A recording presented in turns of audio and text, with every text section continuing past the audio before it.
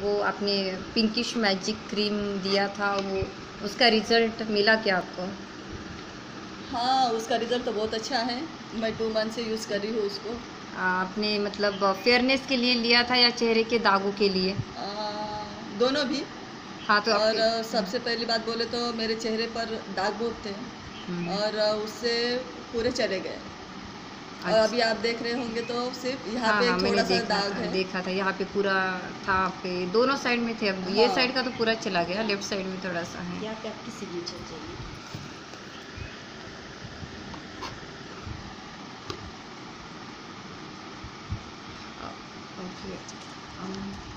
तो मैडम आप आपने वो रात में लगाया दिन में लगाया? रात में?